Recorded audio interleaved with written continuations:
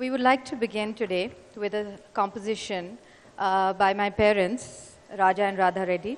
As you know, Kuchipudi belongs to the state, the Telugu state, I will say, of both Telangana and Andhra. And uh, today we are going to start with a tarana. As you know, my parents went to Delhi long back and they settled there. So we have seen influences over a period of time. And this composition that we are going to present to you is a tarana in Hindustani music. So how Kuchipudi dance is choreographed to Hindustani music. It's a very famous composition by Bhar- Bharat Ratna Pandit Ravi Shankar. Kindly see Tarana by me and Bhavna.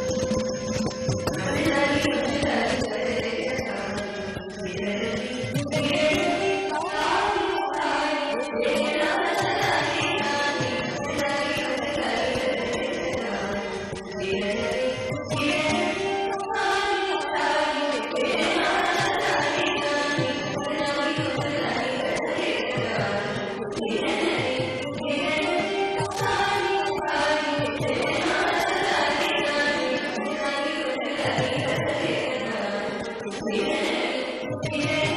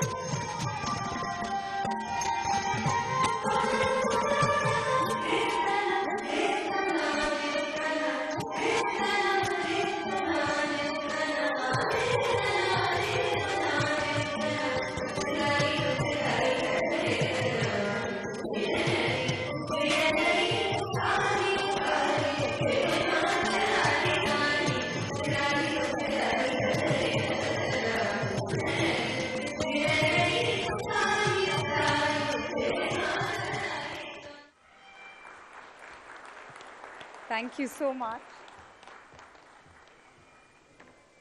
That was such a riveting performance. Let's hear it once again, ladies and gentlemen. A loud round of applause.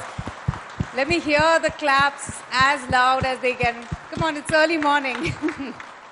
but lovely, wonderful. But before I get a chance to speak to the two of you, let me also welcome my other guest. He's an avid uh, Mridangam artist, a very famous percussionist. Please put your uh, hands together as I call on stage Praveen Sparsh.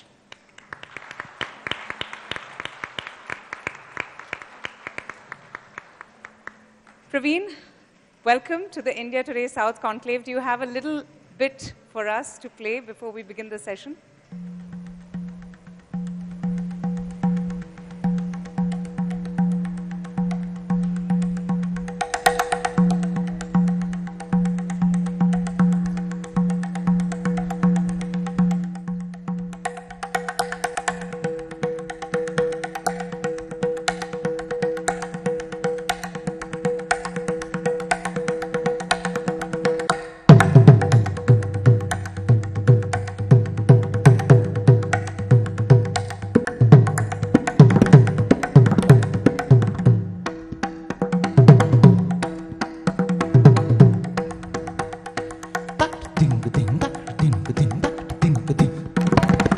ding ding ding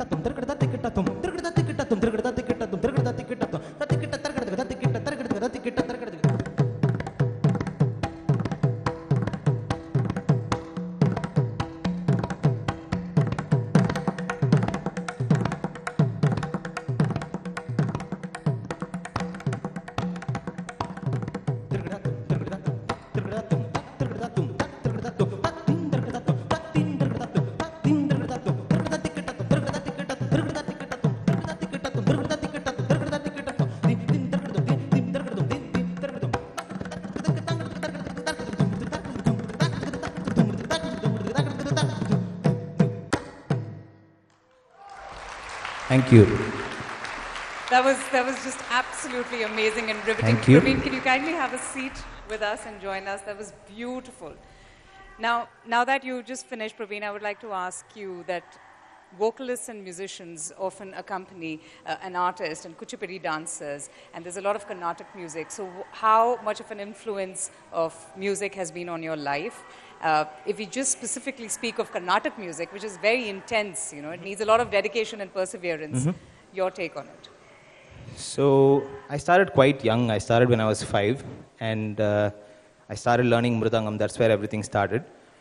And uh, my primary focus was Carnatic music for a very long time. Until I was 15, I wouldn't even listen to a film song. So that was the kind of training that I you know, that un- underwent. And I was literally staying with my guru, Sri Guru Ayadharai sir, and I used to accompany him for all his concerts. And it was like partial Gurukula Vasam, what they call. So I used to go to school and come back and stay with him and be with him all the time. So music has been there all through my life.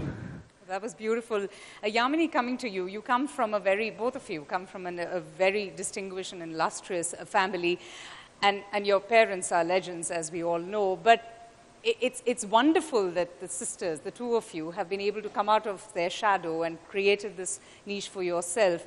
And you have performed on global platforms as well. Yamini, how has the journey been? Has it been difficult being the children of legendary parents and you know, creating this own identity for yourself?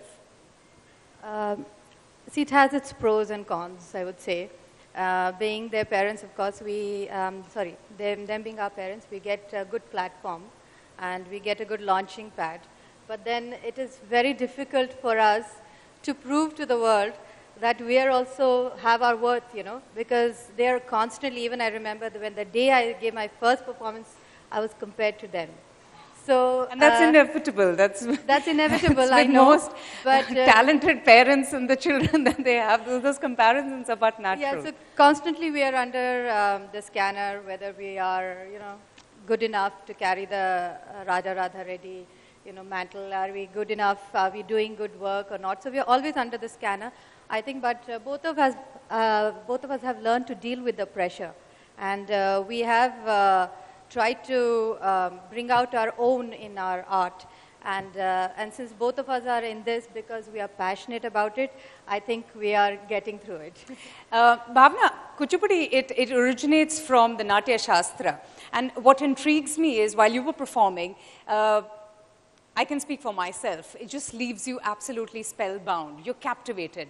And, and I've always wanted to know from a dancer uh, can you tell us a little bit about the nine emotions, the navarasas, the bhava, the emotion, and, and you know, those bhavs that the dancer has in him or her, and the feeling or the rasa that you evoke from the audience. How do you hold the audience's attention?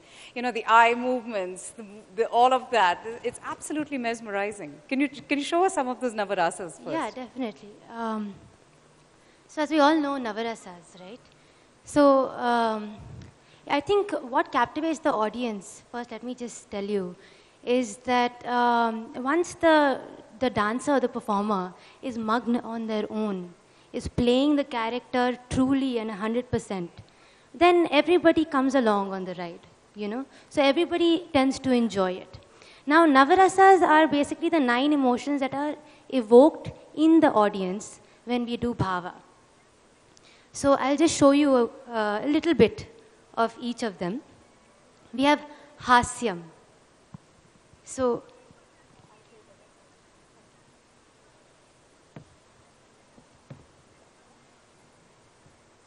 Uh, the first rasa is uh, Shringaram, known as the king of rasas.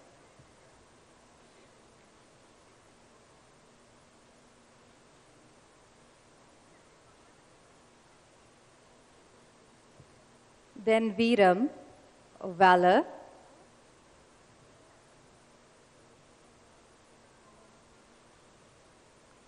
Karunyam, compassion.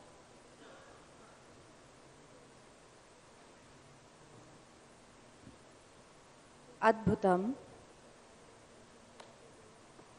wonder.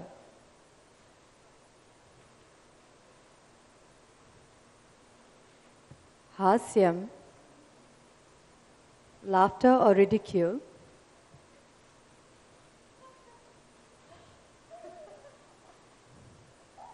Bhayam, fear.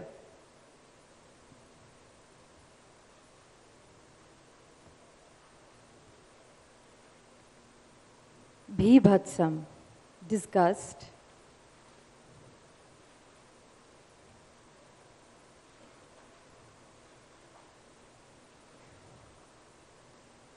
Raudram, fury.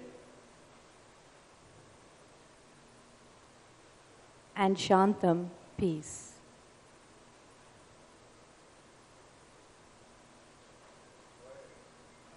That's beautiful. Let's, let's have a round of applause. That's absolutely beautiful.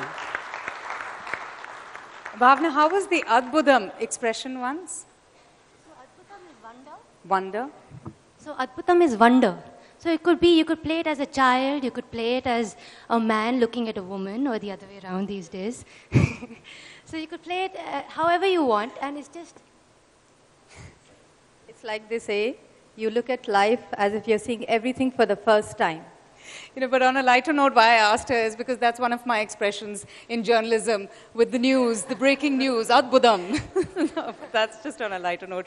But you know, um, Bhavna, you, apart from being an absolutely talented dancer, I know that dance is in your genes. You were born with it, it's part of your DNA. But you, interestingly, carved your own route. You're, you, you have a passion for music, and, and you, in fact, have dabbled in Western music. So, how has that journey been? And can you sing some lines for us, please? Yeah, sure. Um, it's been quite a challenge, actually. You know, there are lots of traditionalists, and uh, they're not very, you know, there have been challenges. It's not, they're quite contrasting fields. So, within my own family, also, my father was like, What is this noise?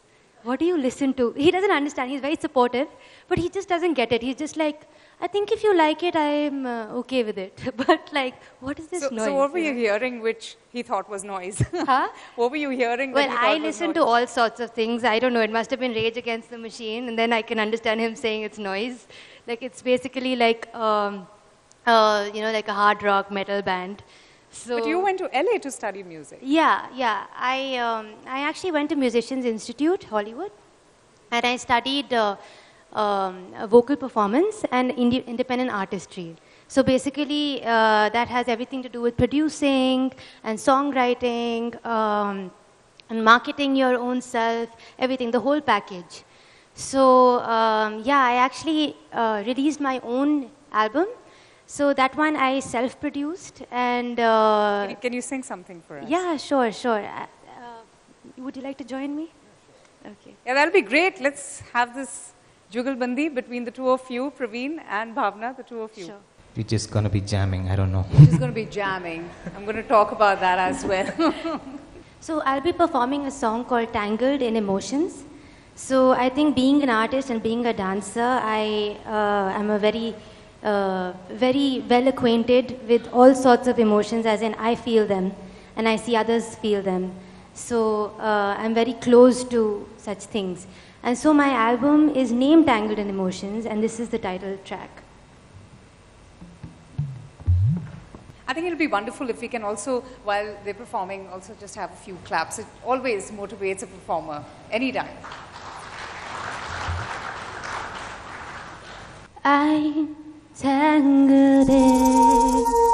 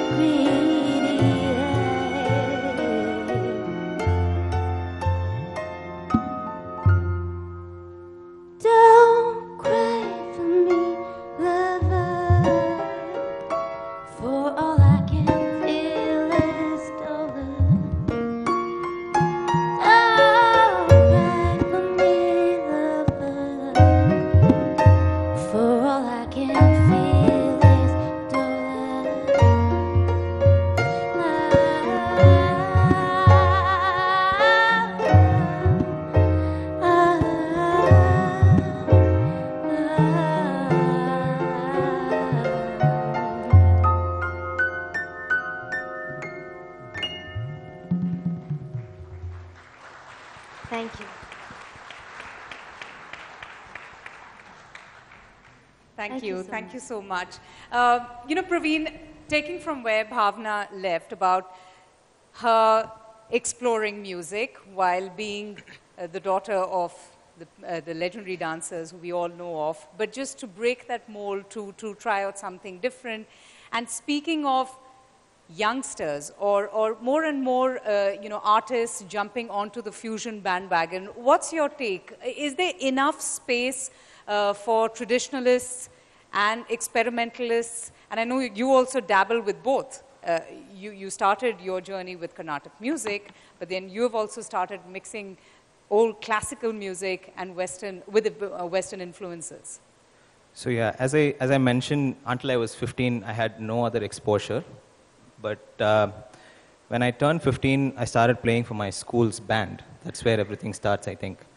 And the problem is not with trying contemporary music or trying to understand other forms of music, but if that's done in a superficial way, then that's a problem. Where if I'm saying, I know my music, and if I'm trying to understand, say, pop music, if I just say pop is just one, two, three, four, one, two, three, four, then that's not it. Pop has culture, pop has history, and each and every art form has its own background, aesthetic, and the practitioners of that particular art form, they have a lifestyle. So if you can actually dig into all those things and then come up with something on a fair ground, because it's very easy for classical musicians to say every other art form is lesser than classical music. We feel ultimately cool about that aspect of it because we're trained. It's, it's a very rigid uh, training. So if that's removed out of the equation, if there's no hierarchy in collaborations, then that's real collaboration. That's, that's what makes it interesting. So if I'm collaborating with a folk artist,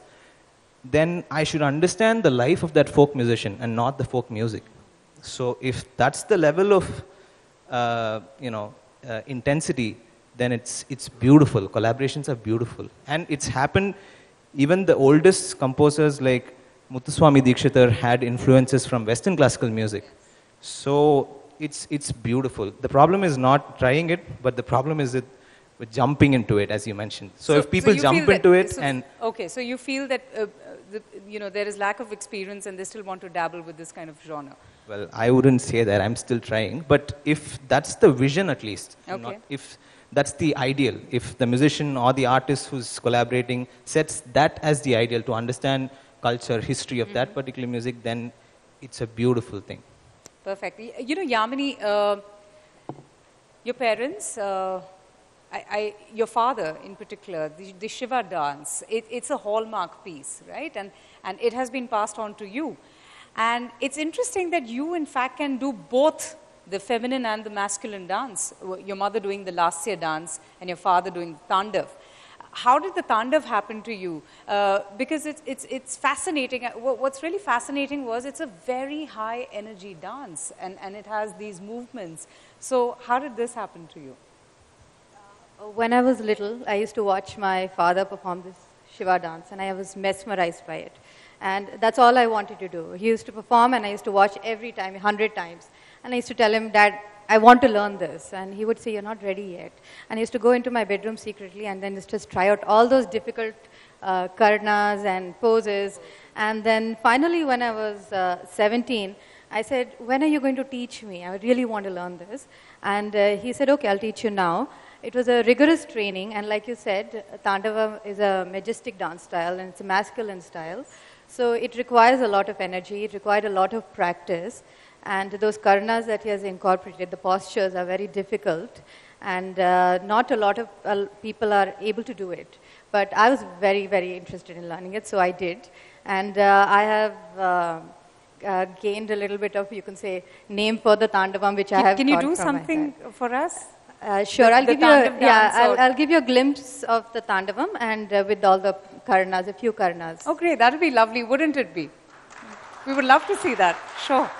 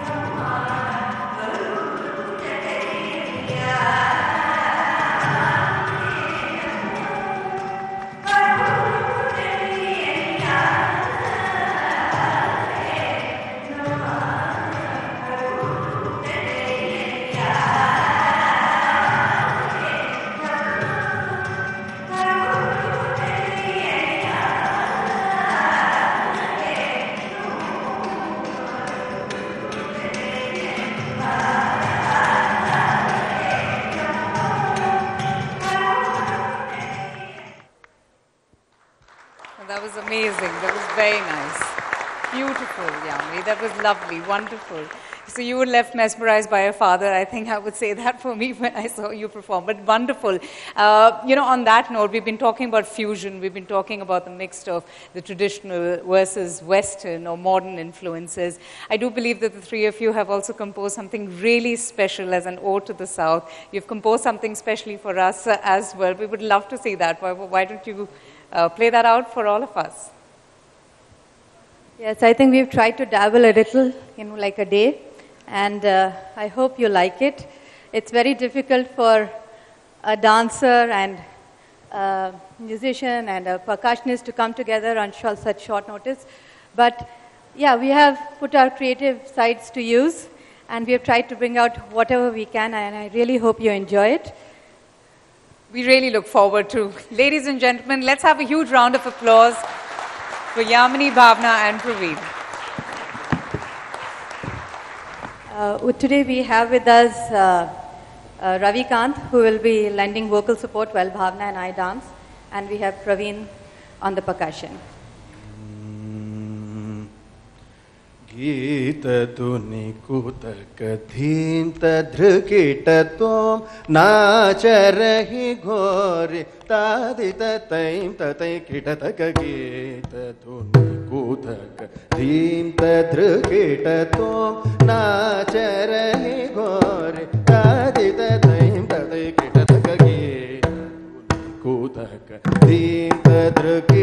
तुम